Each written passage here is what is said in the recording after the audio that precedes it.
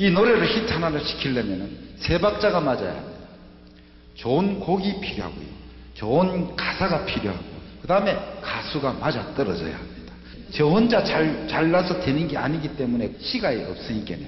지금부터 사인을 드리겠습니다. 내가 왼쪽 손을 번뜩 들거든.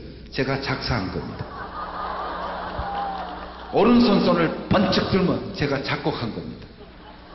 양손을 번쩍 다 들어보면 제가 작곡, 작곡 다 한 겁니다. 박수 치라는 얘기가 아니고 알아만 달라는 얘기입니다.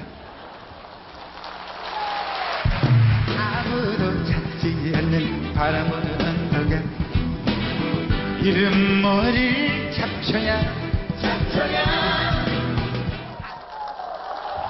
내가 왜 이러는지 몰라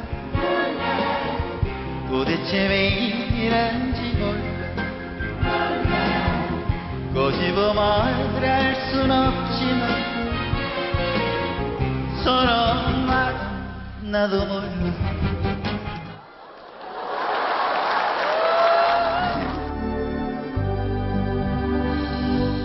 이 세상 하나밖에